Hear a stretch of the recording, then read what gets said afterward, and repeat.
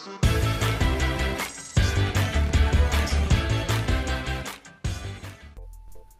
lagi bersama saya di channel Wahyu Zekta. Oke, di video kali ini di sini saya akan coba ya giliran Poco X3 NFC. Nah, di sini saya akan coba uh, install ya plugin yang sama seperti di video sebelumnya tes di Poco X3 Pro sehingga nanti di sini di uh, game turbo di GPU settingnya itu terunlock 120 fps untuk laju bingkainya teman-teman ya di GPU setting. Nah, di Poco X NFC ini saya masih menggunakan aplikasi security versi Smart Toolbox, teman-teman, yang support Smart Toolbox yaitu versi 5.6.9 ya. Nah, saya masih menggunakan versi yang ini. Nah, karena fitur yang sidebar ataupun Smart Toolbox-nya itu eh, sangat berguna sekali ya buat saya seperti itu, teman-teman. Nah, di sini kita coba lihat ya di bagian bawah dan ini sudah Smart Toolbox. Ini di Poco X3 NFC, teman-teman.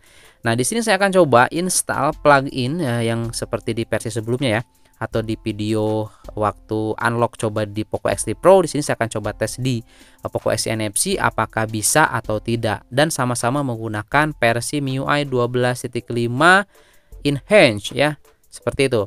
Oke, nah ini dia ya untuk uh, smart toolbox-nya. Oke.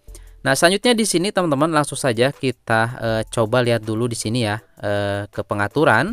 Nah, kemudian di sini kita coba lihat ke aplikasi dan juga ke kelola aplikasi. Kita coba lihat di sini pluginnya ya.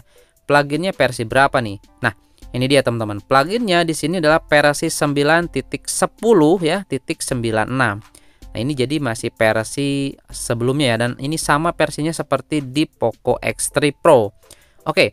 Nah, selanjutnya di sini kita coba install aplikasi pluginnya di sini saya sudah ada ya seperti biasa nanti saya akan simpan linknya di deskripsi kalau misalkan teman-teman mau coba gitu kan nah oke langsung saja di sini kita install update kita tunggu saja sampai selesai ya oke nah ini dia aplikasi terinstall jadi work ya teman-teman bisa diinstal di Poco X3 NFC tinggal nanti teman-teman coba saja yang pakai Redmi Note 10s Redmi Note 10 ya itu tinggal dicoba saja yang pasti sepertinya ini harus di MIUI 12.5 ya.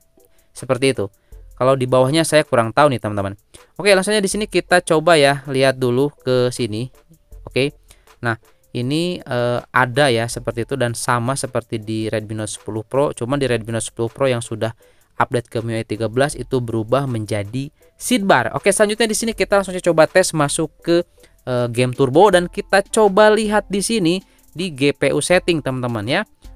Oke dan ternyata di sini sudah kebuka menjadi 120 fps. Ini sangat simpel sekali ya tanpa harus merubah script dan lain sebagainya di set edit. Saya wah sampai pusing teman-teman coba edit ya di set edit supaya ini kebuka dan ternyata sama sekali tidak work, tidak bekerja teman-teman. Seperti itu. Cuman ya settingan GPU-nya ya yang di set edit itu seperti GPU tuner underscore um, performance itu boleh dicoba teman-teman ya agak sedikit meningkatlah performanya dengan menggunakan uh, string atau script atau settingan di set edit tersebut. Oke itu saja mungkin teman-teman ya di video kali ini. Mudah-mudahan bermanfaat dan bisa teman-teman coba tes ya di HP-nya masing-masing. Oke yang pasti ini e, tergantung gamenya ya teman-teman. Nggak bisa murni 100% kebacanya nanti 120 fps Oke itu saja. Sampai ketemu lagi di video selanjutnya